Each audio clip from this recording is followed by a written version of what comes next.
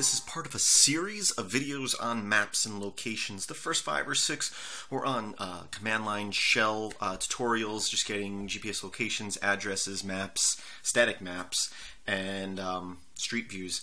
Today we're going to start working actually with interactive maps. Instead of just a still image, we got maps that you can drag around and also place markers on. So that's what we're going to do very simply here. So let's go ahead and look at the code here. Um, and as you can see, it's not very long entire thing is 47 lines. A lot of that are just standard tags and some CSS. So let's go ahead and look at it. We're saying, okay, this is an HTML file. Got our HTML tags, our header tags, some meta stuff. Uh, that's definitely important for mobile devices. Uh, the title of our page, and then styling. Uh, basically, we want, as you can see, our map to be the entire screen. You can have it just be inside an element on the page. We're going full screen here. So we're saying zero margins, zero padding, and the entire height, 100% of the page. We're saying our entire page, body, and the map canvas to that.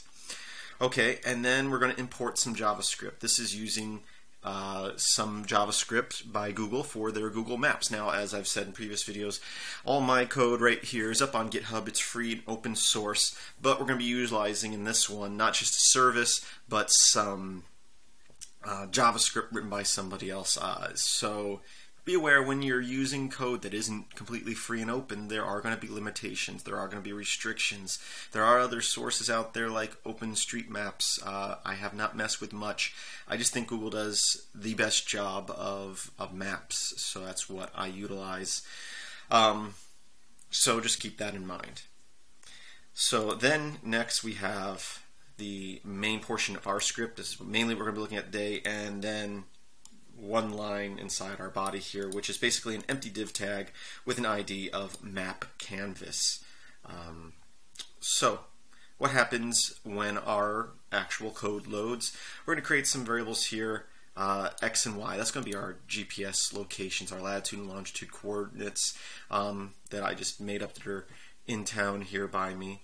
So those are variables, and then we're going to set another variable object. We're going to say a new uh, Google Maps object. This, anytime you see Google Maps in here, this is grabbing it from this JavaScript up here that we imported. So we're saying a new Google Maps, we're going to create coordinates that are latitude, longitude based on these two. So technically you could grab this and put it in here with the X is and here with the Y is, but it's always good to, this is a simple code. If it got more complex, it's a good idea to have things in separate variables like that.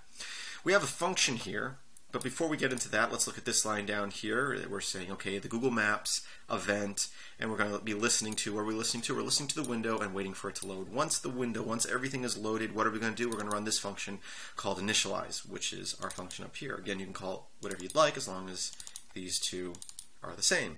So once the page is loaded, so this is saying once the page is loaded, run this function and this function, first thing in here is we're creating a variable.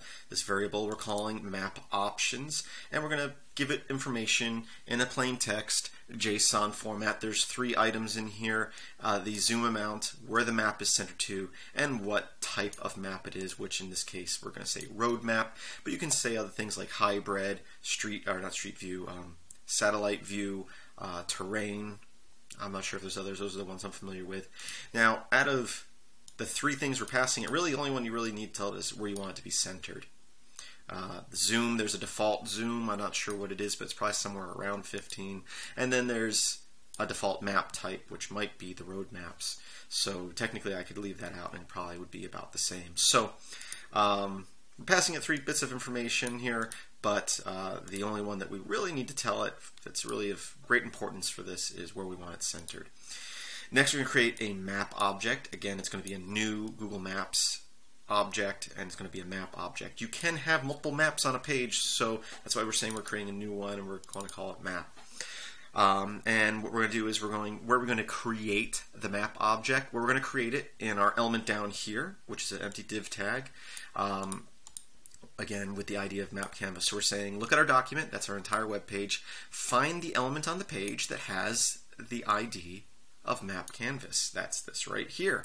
And then what we're going to do, we're going to put the map there with these options. Where the options, that says map options, that's this variable here. It's this This information right here is being placed right there. And that's it. That will create the map and center it at a 15% zoom on your coordinates with a road map style.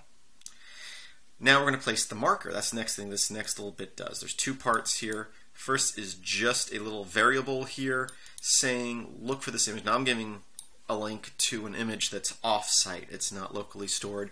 You know, obviously, it's probably a better idea to put your your images with your application, but I'm just grabbing one off-site, and as you saw from when we started, it's this old picture of Tux playing guitar. It has the black or the white square around it because it's not a transparency. Uh, the background, if you choose an image with a transparent background, it will be transparent here which would most likely be a PNG. JPEGs aren't going to give you that transparent background. But I chose that image, so we're just going to say put that information into this variable called image. Next, we're going to create an object called, we're going to call it marker. Again, we're going to look at our Google uh, JavaScript, and we're going to use its function to create a marker. And we're going to give it some information. The position, where do we want it centered? Where do we want it placed? And we can give it separate coordinates. We can have multiple markers, but in this particular case, I want it centered right at the center of where our map is centered, which again is our variable up here called centered, which is these um, coordinates. So that's why we're placing the variable centered there. Again, you can type the coordinates directly in there if you would like, um, but you would want to run it through this function first. Um, but that's the position. It doesn't have to be at the center. That's just where I'm placing it. Which map are we placing on? We're going to place on the one called map, which we created there. So this is is equal to that. Next, we're going to say icon. Now, icon, we're passing it image, the variable image right here, which is this URL to an image.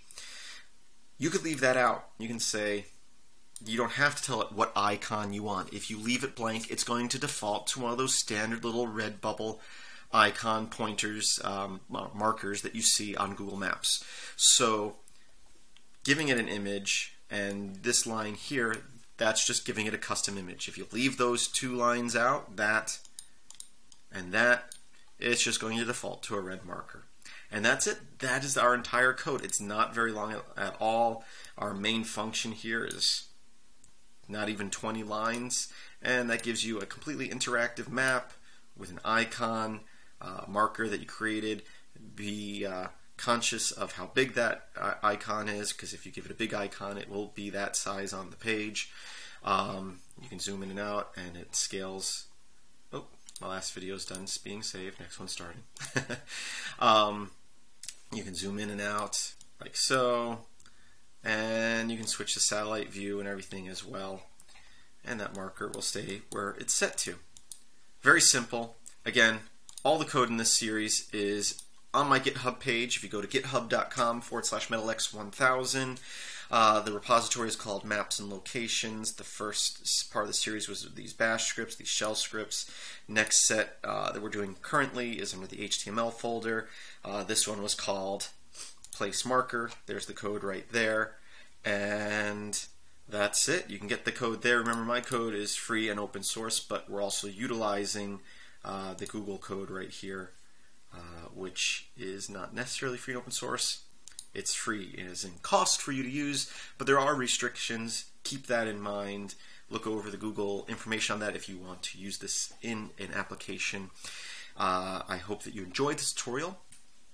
Uh, please visit my website, filmsbykris.com. That's Kris the K. Uh, if you did like this video, be sure to like, subscribe, and share. That helps out a lot, getting more views when you share it for me. And as always, I hope that you have a great day.